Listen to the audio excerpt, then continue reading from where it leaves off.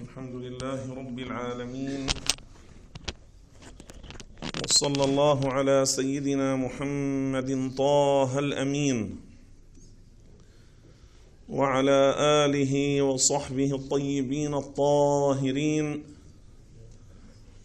ومن اتبعهم بإحسان إلى يوم الدين وأشهد أن لا إله إلا الله وحده لا شريك له ولا ضد ولا ند ولا زوجة ولا ولد له ولا شبيه ولا مثيل له ولا جسم ولا حجم ولا جسد ولا جثة له. ولا صورة ولا أعضاء ولا كيفية ولا كمية له ولا أين ولا جهة ولا حيز ولا مكان له. كان الله ولا مكان وهو الآن على ما عليه كان. فلا تضربوا لله الأمثال. ولله المثل الأعلى. تنزه ربي عن الجلوس والقعود وعن الحركة والسكون وعن الاتصال والانفصال. لا يحل فيه شيء ولا ينحل منه شيء ولا يحل هو في شيء. لأنه ليس كمثله شيء. مهما تصورت ببالك فالله لا يشبه ذلك. ومن وصف الله بمعنى من معاني البشر فقد كفر. وأشهد أن سيدنا ونبينا وعظيمنا وقائدنا وقرة أعيننا محمدا عبده ورسوله ونبيه وصفيه وحبيبه وخليله صلى الله عليه وعلى كل رسول أرسله. أما بعد نذكر بنية الإخلاص لله تعالى في حضور مجلس العلم وبنية الاعتكاف في المسجد. يقول الله سبحانه وتعالى في القرآن الكريم عن القرآن الكريم لا يأتيه الباطل من بين يديه ولا من خلفه. يجب الاعتقاد بأن القرآن العظيم محفوظ من التحريف ومحفوظ من التبديل والتغيير ومحفوظ من التزييف لأن الله تعالى ضمن في القرآن أن يحفظ القرآن. فقال وإنا له لحافظون. القرآن لا يستطيع الكفار لو اجتمع كفار الإنس والجن معا في الشرق والغرب معا لا يستطيعون لا يقدرون على تحريف القرآن ولا على تبديله ولا على تغييره ولا يستطيعون أن يأتوا بمثل أقصر سورة منه. لأن القرآن أنزل للإعجاز لأن القرآن أنزله الله تعالى على حبيبه محمد صلى الله عليه وسلم للإعجاز. والرسول عليه الصلاة والسلام تحدى الكفار فلم يستطيعوا أن يأتوا بمثل أقصر سورة منه اللي هي ثلاث آيات. الله ماذا قال في القرآن الكريم؟ وإن كنتم في ريب مما نزلنا على عبدنا فأتوا بسورة من مثله. وادعوا شهداءكم من دون الله إن كنتم صادقين. فإن لم تفعلوا ولن تفعلوا. الله ماذا قال؟ ولن تفعلوا. إذا لا استطاعوا في الماضي ولا يستطيعون اليوم. لا يقدرون على ذلك. الله لا يمكنهم من ذلك. القرآن ليس من تأليف ملك ولا من تأليف جني ولا من تأليف إنس إنما نزل به جبريل عليه السلام بأمر الله تعالى على حبيب الله محمد صلى الله عليه وسلم. وجبريل ليس له تصرف في القرآن. جبريل ليس له تصرف في القرآن. جبريل لا يغير في المصحف. جبريل لا يبدل. في المصحف إنما وظيفته أن ينزل به كما أمر على الرسول صلى الله عليه وسلم. وقد قال علماء أهل السنة جبريل عليه السلام أمر بأن يأخذ القرآن من اللوح المحفوظ فأخذه وجده مكتوبا هناك. في اللوح المحفوظ أخذه كما هو من غير تبديل ولا تحريف ولا تغيير ولا تصرف. يعني جبريل ما بيزيد بالمصحف ولا ينقص من المصحف لا يتصرف في المصحف إنما أمر بأن ينزل بالقرآن على رسول الله صلى الله عليه وسلم وجده مكتوبا في اللوح المحفوظ لأن اللوح المحفوظ مكتوب فيه كل الكتب السماوية. مش بس القرآن الكتب السماوية المنزلة على الأنبياء موجودة هناك في اللوح المحفوظ. جبريل عليه السلام وجده مكتوبا في اللوح المحفوظ أخذه ونزل به قرأه على الرسول صلى الله عليه وسلم. وبعض العلماء بعض أهل السنة والجماعة ماذا يقول وهنا انتبهوا جيدا.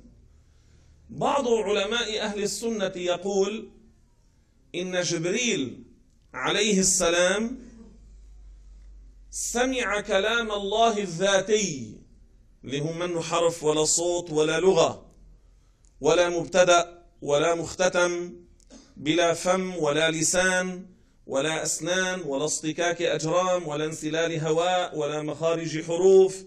ليس باللغة العربية ولا العبرية ولا السريانية ولا بأي لغة من اللغات.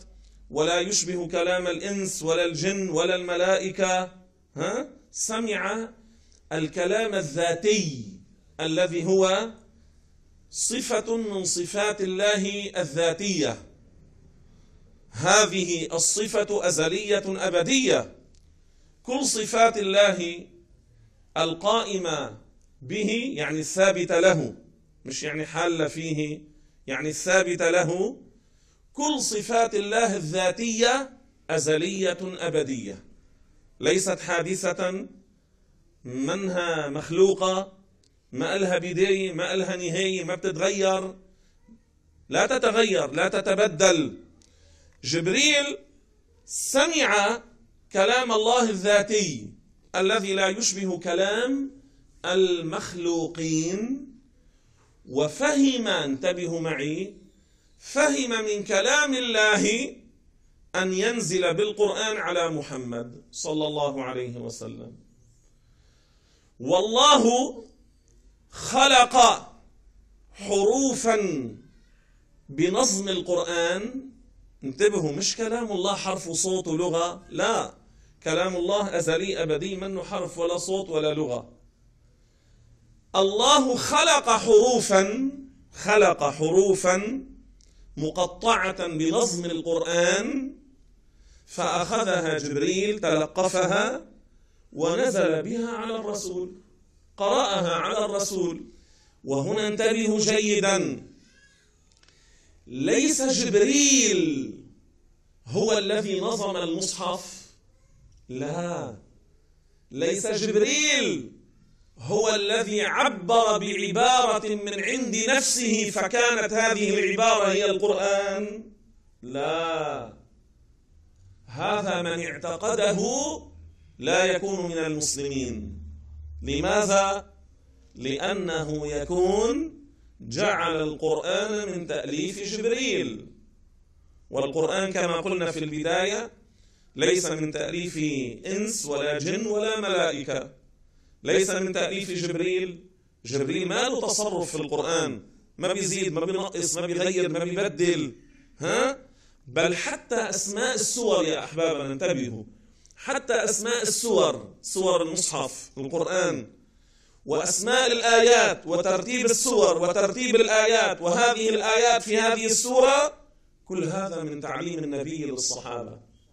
والنبي علمهم ذلك بالوحي. انتبهنا؟ علمهم النبي علمهم ذلك. والنبي بالوحي علمهم ذلك. إذا جبريل ما بيغير بالمصحف بالقرآن لا يغير في القرآن. ما له تصرف. بعض الناس بيقولوا إنه جبريل هو عبر بعبارة من عند نفسه فكانت هذه العبارة هي القرآن. هذا كفر. هذا خروج من الإسلام. هذا معناته أنه القرآن من تأليف جبريل. هذا معناته أنه جبريل هو الذي ألف القرآن ونظمه رتبه وعبر بعبارات من عند نفسه فكانت هي القرآن. هذا معنى الكلام وهذا كفر. الله ماذا قال؟ إنا نحن ماذا؟ نزلنا. إنا هذا للتعظيم ليس للجمع. إذا القرآن منزل من عند الله بأمر الله نزل. مش بتصرف جبريل مش من تأليف جبريل ليس من تأليف جبريل. فمن هنا ينبغي أن تحذروا من بعض ما في كتب العقيدة ومن بعض ما في كتب التفسير من هذه العبارة الكاسدة الفاسدة المخالفة للقرآن وللدين التي فيها يقولون جبريل عبر بعبارة من عنده فنزل بها على الرسول قرأها على الرسول. أنه عزعم جبريل سمع الكلام الذاتي بعدين هو من عند نفسه عبر بعبارات ونزل فيها على الرسول. هذا كفر. وهذا موجود وين؟ في كتاب الإتقان في علوم القرآن. كتاب الإتقان للحافظ السيوطي. نحن لا نجزم أن السيوطي هو قال ذلك بل نحن نظن أنه دس عليه. أنه دس عليه. وبالماضي كان تحريف الكتب سهل. تحريف الكتب كان سهلا. إذا واحد أحيانا بده ينسخ كتاب كان يستأجر النساخ. وإذا كان هذا الشخص له أعداء أو المشبهة أو المجسمة بيجوا عند هذا الناسخ بيدفعوا له مال كثير بيقولوا له إذا وصلت إلى هذا الموضع فقل كذا اكتب كذا. أو الكاتب يحرف من عند نفسه أو بغير انتباه منه أو بعض الذين نقلوا عن هذا العالم أسقطوا هذه العبارة أو زادوا هذه العبارة هذا كله ممكن. أما نحن لا نجزم على السيوطي أنه قال ذلك. السيوطي عالم كبير من علماء المسلمين وهو متفنن في أنواع العلوم. هو السيوطي رحمه الله نقل عن الشافعي المجسم كافر. هو السيوطي نقل ذلك. فنحن ما بنقول قال السيوطي نقول في كتابه في هذا الكتاب الذي هو للسيوطي هذه الكفرية موجودة هذه الكلمة موجودة على أننا لا نجزم بنسبتها للسيوطي. بس هذا الكتاب موجود ومطبوع وفي الأسواق وبالمعاهد بيقرأوه في المعاهد يقرؤونه. وموجودة هذه الكفرية. هذه الكفرية موجودة فيه وليس فيه فقط بل ببعض كتب العقيدة موجودة. هذه في عدة كتب موجودة. طيب هذا تكذيب للإسلام يا إخواننا لما بيقولوا أنه جبريل هو على زعم هو عبر بعبارة من عند نفسه عن كلام الله الذاتي ونزل بهذه العبارات التي الله أقدره عليها على محمد على زعمهم. هذا خلاف العقيدة. هذا ضد عقيدة أهل السنة والجماعة. أليس الله يقول في القرآن ولو كان من عند غير الله لوجدوا فيه اختلافا كثيرا الله يقول لا يأتيه الباطل من بين يديه ولا من خلفه. إذا انتبهوا. هذه العبارة حذروا منها. بعض الناس قرأوا في بعض كتب العقيدة فمروا على هذه العبارة فاعتقدوها صدقوها. للسيوط ولغير السيوط هذه الكتب. الكتب. بأسماء بعض العلماء المشاهير. لكن موجودة؟ وإن كانت هذه الكتب نسبت لهؤلاء العلماء نحن لا نأخذ ما فيها من غلط لا نأخذ ما فيها من خطأ. لا نأخذ ما فيها مما يخالف العقيدة مما يخالف الإجماع. بعض الناس قرأوا هذه المسألة فاعتقدوها كفروا. الشيخ رحمه الله قال من اعتقد هذا يتشهد. قال يتشهد. لذلك جبريل عليه السلام نزل بالقرآن على الرسول صلى الله عليه وسلم من غير أن يكون جبريل له تصرف في القرآن. يعني مش جبريل عبر بعبارة من عند نفسه فكانت هذه العبارة هي القرآن؟ لا. خليني أقرب لكم المسألة بعد. موسى عليه السلام موسى عليه السلام النبي الرسول. أليس سمع الكلام الذاتي؟ بلى. موسى عليه السلام سمع كلام الله الذاتي. اللي منه حرف ولا صوت مثل ما قلنا ولا يشبه كلام المخلوقين. ولم يسمعه موسى كما يسمع الأصوات. لا. والكلام الذاتي ما حل في أذن موسى إنما ربنا سبحانه رفع الحجاب المعنوي عن سمع موسى فسمع الكلام الذاتي الذي لا يشبه كلام المخلوقين. ولم يسمعه كما يسمع الأصوات لا. ولم يسمعه بلغة من اللغات موسى وقومه أي لغة كان يحكوا؟ العبرية. هو موسى ما سمع كلام الله الذاتي بالعبرية لأن ربنا كلامه ليس لغة لا عربية ولا عبرية ولا سريانية ولا غيرها من اللغات. موسى وقومه يتكلمون العبرية أما كلام الله الذاتي ليس العبرية ولا العربية ولا السريانية هو ليس حرفا وليس صوتا وليس لغة لأن الحرف والصوت واللغة صفات حادثة. صفات حادثة. متى وجدت؟ عندما وجد من يتكلم بها. وأول من تكلم بالحرف والصوت واللغة هم الملائكة. ثم إبليس ثم آدم. أول من تكلم بالحرف والصوت واللغة الملائكة. ثم إبليس ثم آدم. وركزوا معي شوي. انتبهوا جيدا. الصفات التي تحل في الحادث وتقوم في الحادث ماذا تكون؟ حادثة. شفتوا من أحلى العقيدة؟ الحادث صفاته حادثة. طيب مش سيدنا جبريل يتكلم بحرف وصوت لغة يعني لفظه حادث. آدم وموسى وعيسى وإبراهيم ومحمد مش يتكلمون بحرف وصوت لغة يعني هذه صفات حادثة. الصفات التي تحل في الحادث وتقوم في الحادث هي حادثة. وصفات الأزلي الأبدي ماذا تكون أزلية؟ أبدية. ليست حادثة. الأزلي الأبدي لا يتكلم بحرف وصوت ولغة لأن هذه الصفات حادثة فلو تكلم بها لكان حادثا.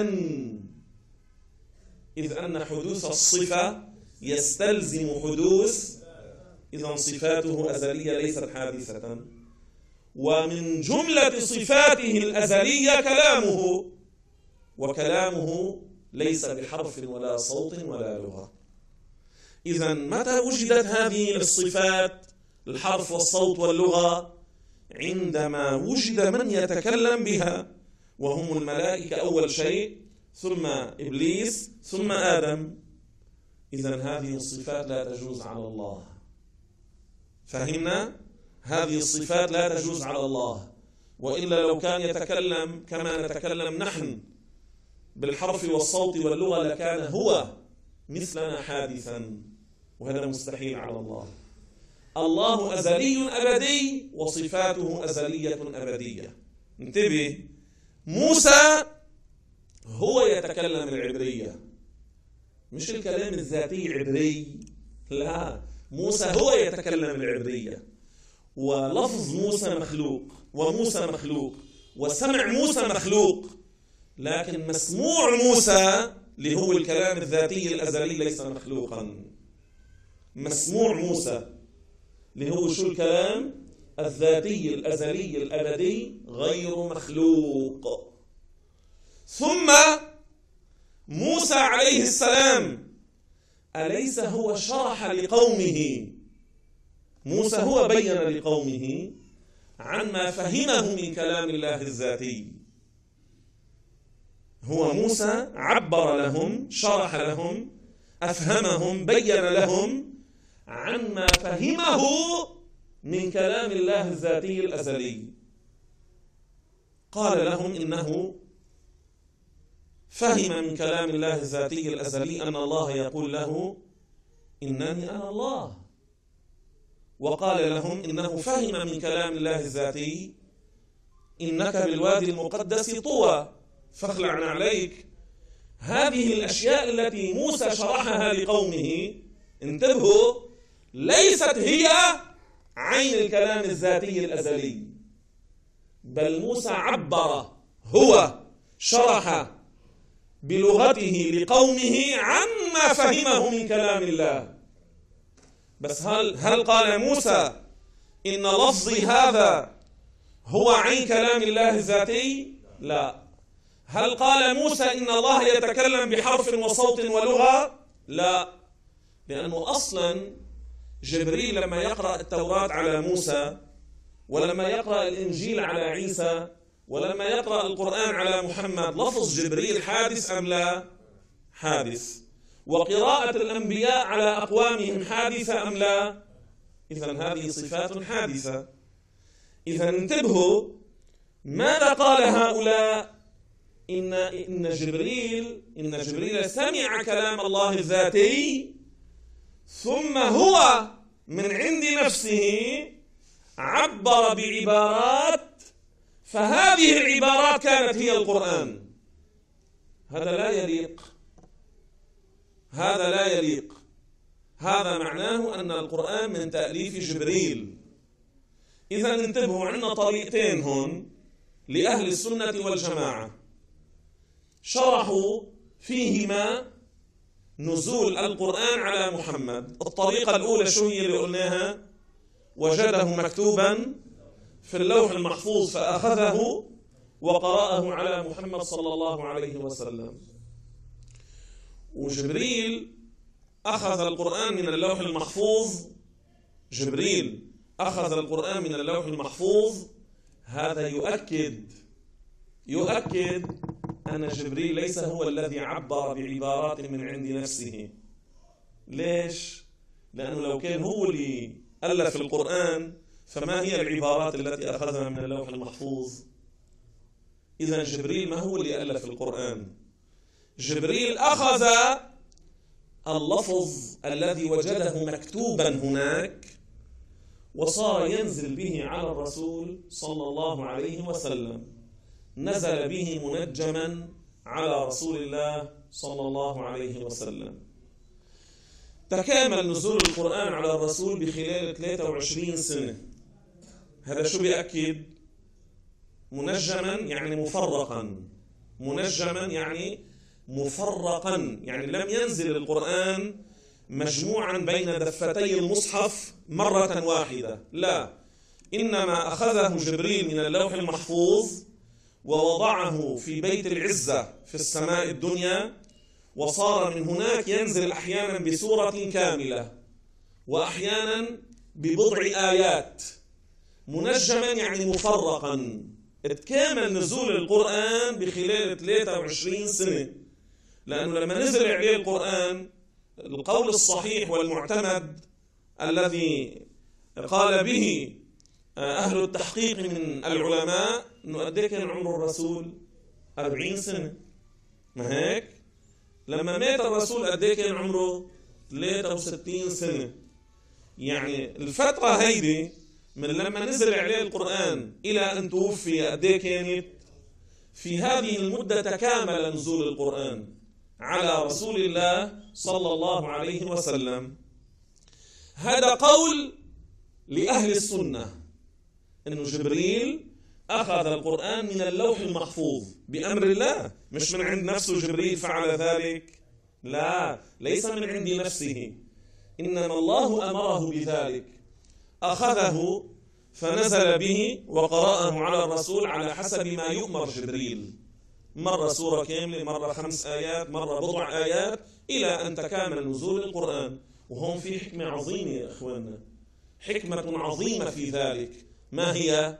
اسمعوا. الرسول عليه الصلاة والسلام ما كان يكتب المكتوب ولا يقرأه. الله ماذا قال في القرآن لحبيبه محمد صلى الله عليه وسلم؟ وما كنت تتلو من قبله من كتاب ولا تخطه بيمينك. ما كان يكتب الكتاب مكتوب ولا يقرأه. لما بتنزل الآيات على الرسول يقرأها على الصحابة فيحفظونها. بعد مدة بتنزل سورة بيقرأها عليهم بيحفظوها.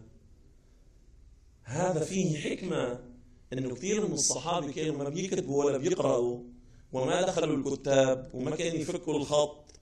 فلما تكامل نزول القرآن كان عدد كبير من الصحابة حفظوا القرآن. حفظوه عن ظهر قلب. حفظوه عن ظهر قلب. في بعض المعارك في قتال المرتدين في بعض المعارك نحو سبعمائة شخص ممن يحفظون القرآن قتلوا. كان في كثير ممن حفظوه عن ظهر قلب مع أنهم كانوا لا بيكتبوا ولا بيقرأوا المكتوب. لكن لما نزل على مراحل ودفعات حفظوه. الله ماذا قال في القرآن؟ هو الذي بعث في الأميين رسولا منهم. وانتبهوا معي. أمية النبي صلى الله عليه وسلم دليل نبوته. أمية النبي دليل نبوته. لأنه مع أميته جمع علم الأولين والآخرين.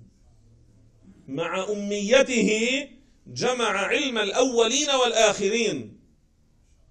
والقرآن هو الكتاب المهيمن على الكتب السماوية السابقة. القرآن فيه العقيدة وفيه الأحكام وفيه المعاملات وفيه الحث على مكارم الأخلاق وفيه النهي عن الرذالات وعن المنكرات. فيه أخبار الأنبياء أخبار الأمم الماضية فيه عن أحوال الآخرة والجنة والنار فيه أحكام كثيرة. القرآن العظيم أنزل كما قلنا في البداية للإعجاز. إذا جبريل نزل به على رسول الله صلى الله عليه وسلم فقرأه عليه كما هو بلا تغيير ولا تبديل على حسب أمر الله عز وجل. هذا القول الأول لأهل السنة. والقول الآخر هو أن الله خلق حروفا مقطعة بنظم القرآن بنظم القرآن فتلقفها جبريل تلقفها جبريل ونزل بها على الرسول صلى الله عليه وسلم بلا تصرف من جبريل. وليس جبريل هو الذي عبر بعبارات من عند نفسه ثم قرأها على الرسول فكانت هي القرآن. لا. الشيخ قال خلق حروفا وقال خلق صوتا. يعني هذا استعمله الشيخ وهذا استعمله رضي الله عنه. فإذا جبريل عليه السلام على التفسيرين لأهل السنة ليس له تصرف في القرآن. عرفنا وين المسألة اللي بدنا نوصلها على التفسيرين لأهل السنة جبريل ليس له تصرف في القرآن. والقرآن ليس من تأليف جبريل وإنما جبريل هو الملك المأمور من الله بأن ينزل بالقرآن على رسول الله صلى الله عليه وسلم. وهنا مسألة مهمة. مما يؤكد مما يؤكد مذهب أهل السنة الذي ذكرناه خلال الكلام من أن كلام الله الذاتي ليس حرفا وليس صوتا وليس لغة مما يؤكد ذلك اسمعوا وانتبهوا جيدا معي أن التوراة الأصلية والإنجيل الأصلي والزبور الأصلي والقرآن الكريم والكتب السماوية المنزلة على الأنبياء المكتوبة في اللوح المحفوظ كل هذه الكتب هي عبارة عن كلام واحد أم لا؟ شو برجع بعيد؟ ما تستغربوا ما تتعجبوا. كلام الله واحد. كلام الله واحد. كلام الله واحد. يعني الإنجيل الأصلي ليس عبارة عن بعض وجزء من ما يعتقده المجسمة من كلام الله تعالى المتبعض. لأنه هن بيعتقدوا أنه الله كلامه متبعضا. إنه مثل ما بنحكي نحن بحرف وصوت ولغه ودفعات يتكلم ثم يسكت ويسكت ثم يتكلم. ابن تيمية ماذا قال؟ قال والله يتكلم إذا شاء ويسكت إذا شاء. بل ابن قيم الجوزية وابن تيمية ومن بعدهما من المجسمة صرحوا في مؤلفاتهم قالوا والكلام لا يكون إلا بالحرف والصوت. وهذا تشبيه. هذا تشبيه لله بخلقه فانتبهوا معي حرجع عيد المسألة التوراة الأصلية المنزلة على موسى. والإنجيل الأصلي المنزل على عيسى. والزبور الأصلي المنزل على داود والقرآن وباقي كتب الله المنزلة على الأنبياء. كل هذه الكتب هي عبارة عن كلام واحد. ليس كلاما متعددا. لهون مشي الحال؟ شو؟ ماشي أو برجع بعيد ارجع عيد. ركز. التوراة الأصلية. والإنجيل الأصلي والزبور الأصلي والقرآن العظيم والكتب السماوية المنزلة على أنبياء الله كلها عبارة عن كلام واحد. واضح؟ عن كلام واحد. ليس متعددا وليس متجزئا وليس متبعضا هو كلام واحد. لكن عبر عنه عبر عن هذا الكلام الواحد بالتوراة الأصلية التي هي باللغة العبرية. وبالإنجيل الأصلي الذي باللغة السريانية. وبالزبور الأصلي الذي باللغة العبرية. وبالقرآن الذي هو باللغة العربية اللفظ المنزل. لاحظوا انتبهوا. هذه الكتب بلغات مختلفة. بلغات مختلفة هي عبارة عن كلام واحد. هذا يؤكد أن كلامه الواحد ليس لغة. وإلا كيف يكون واحدا ويكون هو عبرية وهو سريانية وهو عربية؟ فهمنا؟ كيف يكون واحدا ويكون هذا الواحد هو اللغة العربية والعبرية والسريانية وغير ذلك من اللغات؟ فإذا هذا دليل لأهل السنة على أن الكلام الذاتي كلام كلام واحد. ليس حرفا وليس صوتا وليس لغة.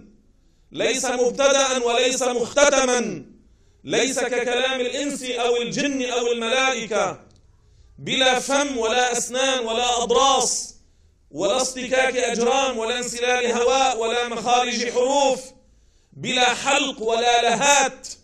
كل هذا لا يجوز على الله سبحانه وتعالى فهذه الكتب السماوية المنزلة على الأنبياء بلغات عديدة مختلفة كلها عبارة عن كلام واحد فهمناها؟ شو يا اخوانا؟ لا ما عم نحكي هلا الشرائع موضوع عم نحكي عن الكلام الذاتي إنه منه حرف ولا صوت ولا لغة. مما يؤكد ذلك إنه هو كلام واحد. وأنه ليس حرفا وليس صوتا وليس لغة. عبر عنه بلغات عديدة بكتب منزلة على الأنبياء.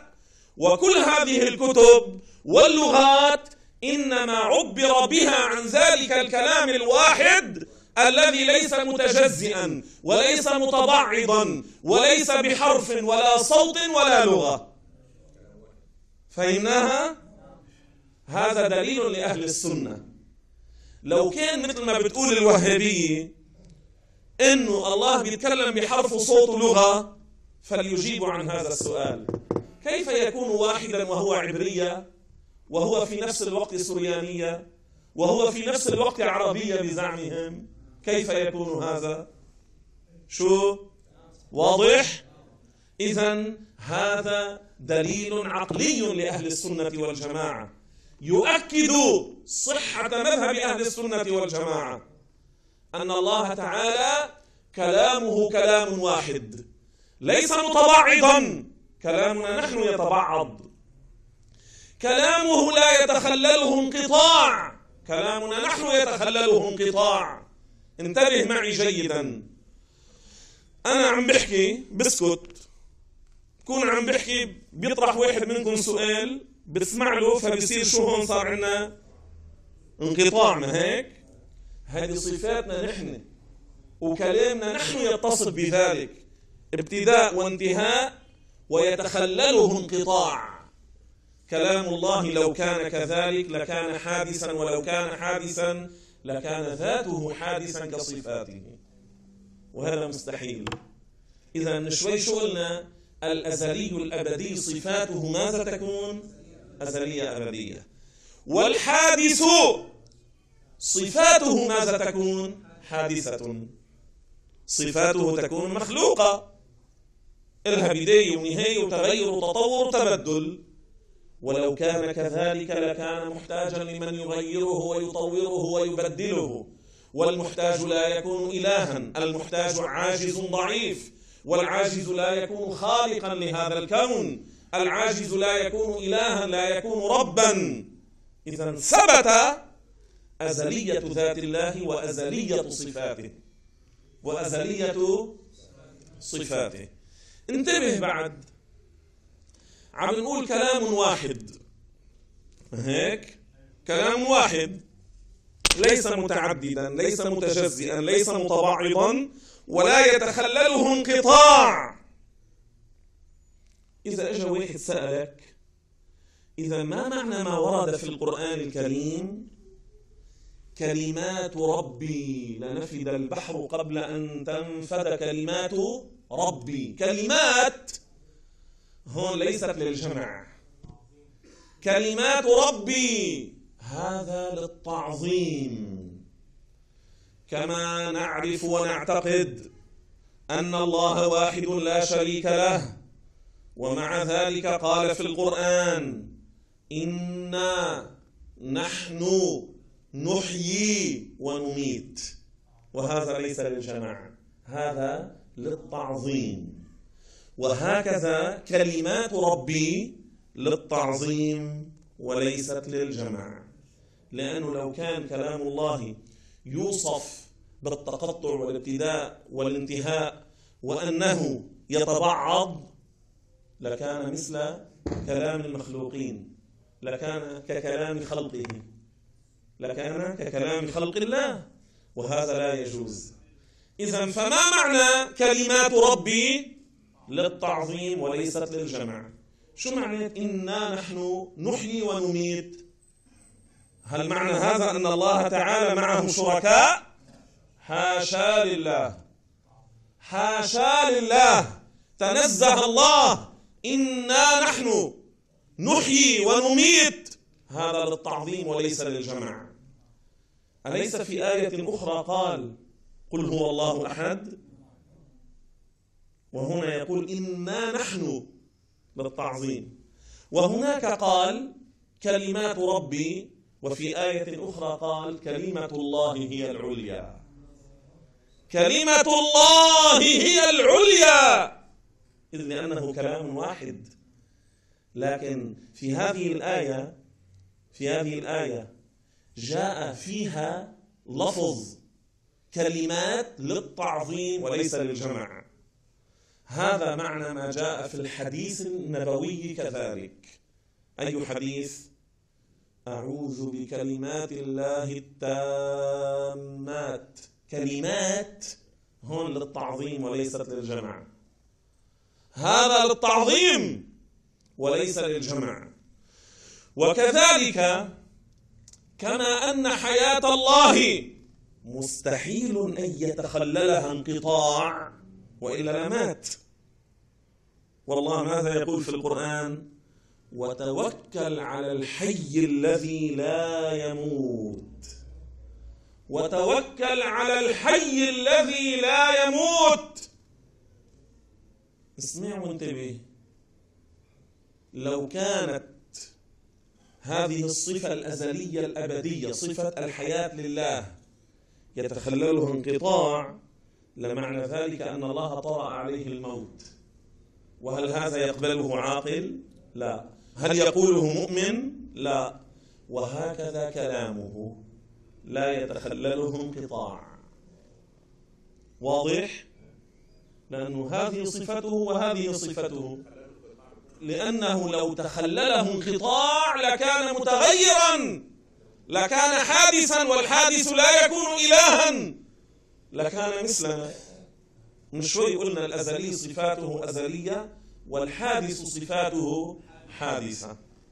إذا من مذهب أهل السنة والجماعة من مذهب أهل السنة والجماعة أن الله متكلم بكلام واحد.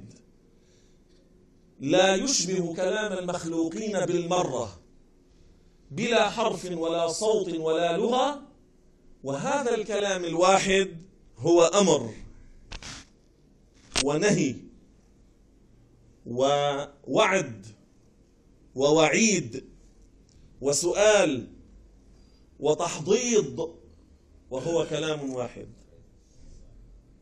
وهو كلام واحد. وهنا انتبهوا معي.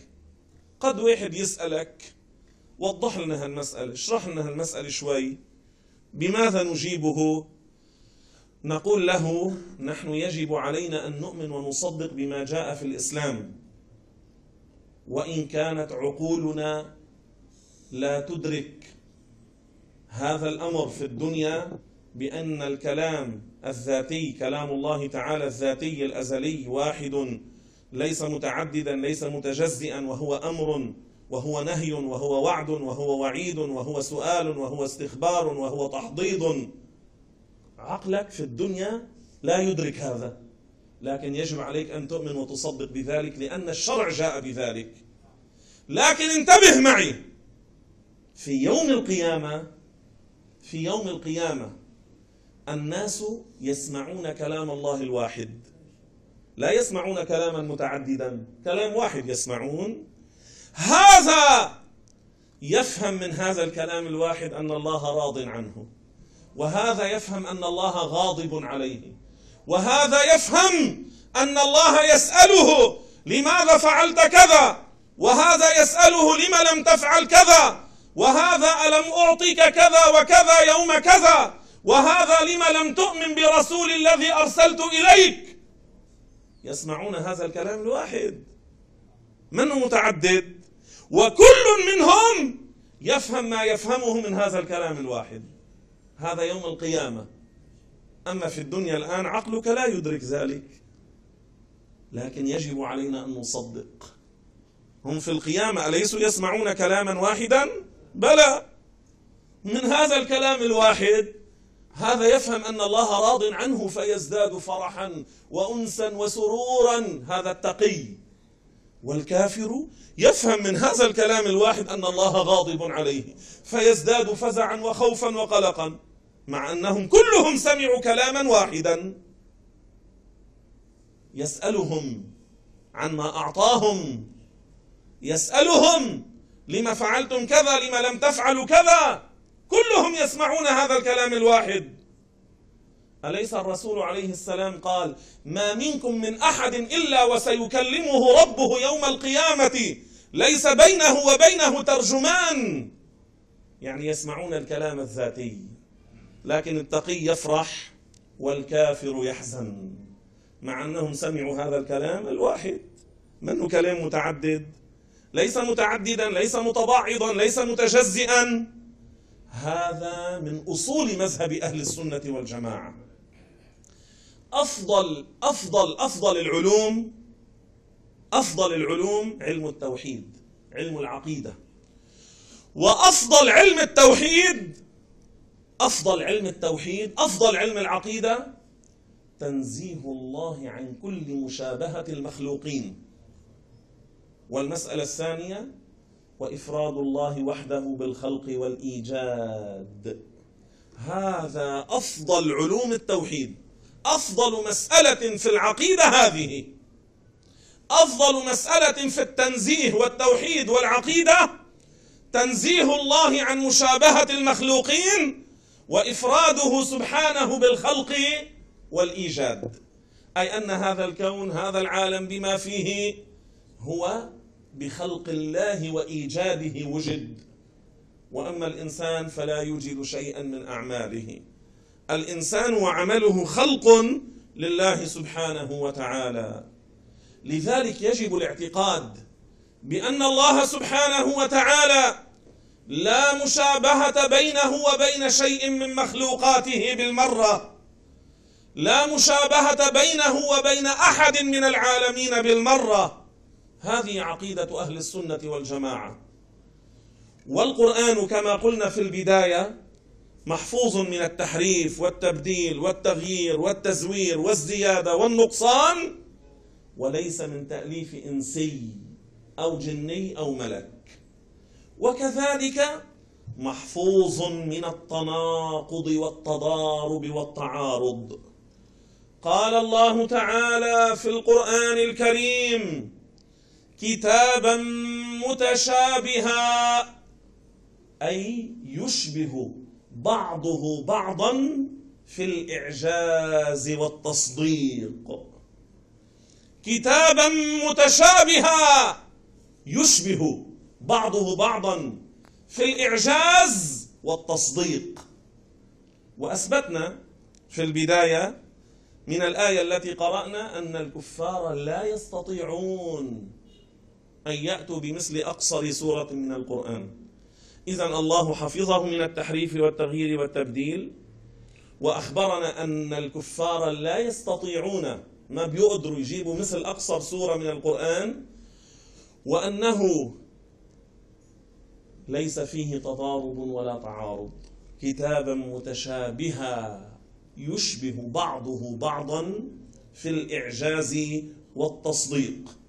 بعض الملاحدة شو بيقولوا على لما تثبت لهم إنه الكتب الموجودة اليوم المحرفة ليست من عند الله وليست هي الكتب الأصلية المنزلة على الأنبياء بعض منهم من حرقة قلبه بيصير بده يحكي عن القرآن.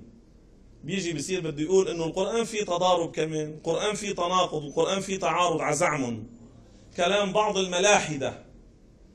شو بتجاوبوا؟ كيف بترد عليه؟ انتبهوا. الناسخ والمنسوخ الذي في القرآن هذا ليس فيه تضارب ولا تعارض. الناسخ والمنسوخ في القرآن الكريم ما في تضارب ولا في تعارض. إنما الناسخ والمنسوخ فيه دليل عظيم على صدق القرآن وبلاغة القرآن وإعجاز القرآن وهو لحكمة عظيمة وليس فيه نسبة تغير علم الله. ليس فيه نسبة تغير علم الله تعالى وليس فيه أن الله تعالى بدا له ما كان خافيا عليه كما يقول الكفار. إنما في وقت من الأوقات أحل هذا الأمر لأنه سبق في علمه أن في ذلك حكمة وأن الناس يطيقون هذا. وسبق في علمه الأزلي أن هذا في وقت كذا ينسخ فيكون هذا الحرام حلالا لهم. وهذا مش معناته أن علم الله تغير ولا معناته أنه في تضارب وتعارض في القرآن. واسمعوا معي. مش قلنا من شوي وعطينا دليل أنه الكتب السماوية المنزلة على الأنبياء كلها عبارة عن كلام واحد وهو الكلام الذاتي. اسمع معي. أليس كان من شريعة آدم أن يزوج بنيه من بناته مع اختلاف البطن حأرجع عيد العبارة اسمعوا. أليس كان من شريعة آدم أن يزوج بنيه من بناته مع اختلاف البطن؟ بلى. بعد ذلك حرم هذا أم لا؟ هذا منه تناقض ومنه تعارض ومنه تضارب لأن الذي نزل على آدم من الوحي الكتاب السماوي والذي نزل على عيسى والذي نزل على آدم والذي نزل على إبراهيم والذي نزل على موسى هو عبارة عن كلام واحد. فإذا كان القرآن متضاربا بزعمهم لأنه هن وين بيحصروا المسألة بالقرآن؟ أنت بدك ترد عليهم بأنه اختلاف الشرائع بين الأنبياء والكتب السماوية المنزلة على الأنبياء هذه الكتب هي عبارة عن كلام واحد. فإذا كان عزعمكم في تضارب في القرآن فقد جعلتم التضارب والتعارض في التوراة الأصلية وفي الإنجيل الأصلي وبين التوراة الأصلية والإنجيل الأصلي. هن بيقبلوا يقولوا هيك؟ لا هون بيخلصوا. ارجع انتبه. الكتب السماوية المنزلة على كل الأنبياء هي عبارة عن كلام واحد. فلو كان فيها اختلاف وتعارض لكان على زعم التوراة الأصلية والإنجيل الأصلي فيهما تعارض وفيهما اختلاف وبينهما تضارب وهذا غير صحيح. هنا يخرسون لماذا يريدون حصر المسألة في القرآن؟ ما عندهم دليل بس بيزتوا الكلام زت. كيف بدك تخرسهم؟ بتقول لهم هذه الكتب السماوية المنزلة على الأنبياء هي عبارة عن كلام واحد. فإذا أثبتتم بزعمكم وما بيقدروا انتبهوا هذا من باب التهكم ومن باب يعني أن يبكتوا. تقول لهم على زعمكم إن قلتم بوجود التناقض في القرآن فقد أثبتموه في التوراة الأصلية والإنجيل الأصلي وما نزل على موسى وعيسى وآدم ومحمد وإبراهيم. كل هذا فيه تضارب بزعمكم لأن كل هالكتب السماوية هي عبارة عن كلام واحد. وهون اسمعوا معي. كان من شريعة آدم أن يزوج بعض بنيه من بعض بناته مع اختلاف البطن ثم حرم ذلك.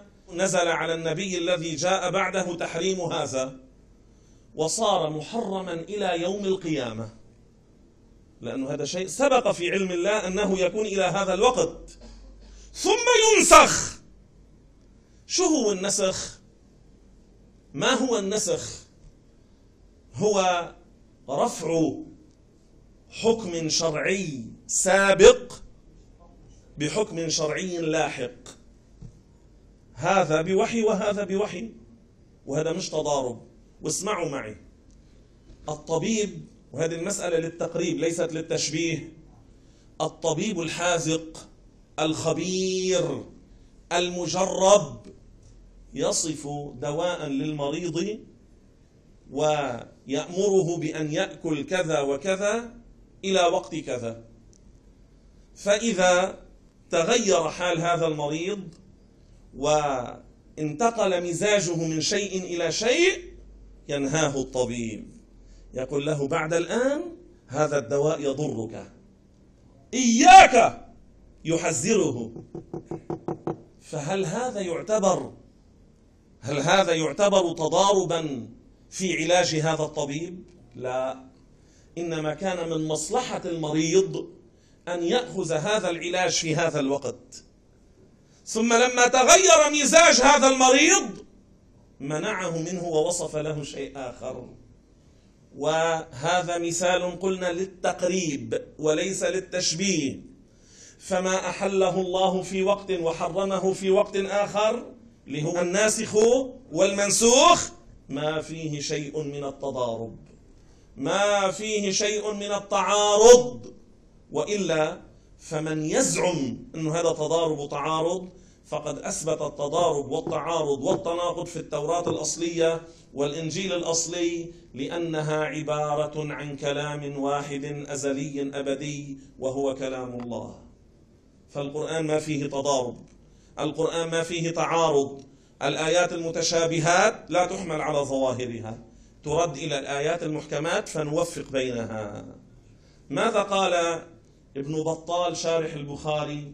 يجب قال يجب رد الآيات المتشابهات إلى الآيات المحكمات. قال يجب. هكذا نوفق بينها. هكذا نجمع بينها. أما على مسلك المشبهة فقد وقعوا فيما وقع فيه اليهود وقد ذمهم الله فقال أفتؤمنون ببعض الكتاب وتكفرون ببعض؟ اذا ألخص ما شرحنا أنه من عقيدة أهل السنة والجماعة الثابتة ومما يجب اعتقاده أن القرآن محفوظ من التحريف والتغيير والتبديل وأنه ليس من تأليف جبريل وأن جبريل لا تصرف له فيه إنما نزل به بأمر الله على محمد وأن القرآن ليس فيه تناقض ولا تضارب ولا تعارض.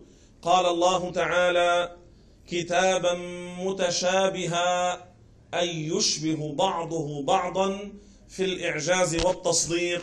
والحمد لله رب العالمين. هللوا وصلوا على النبي.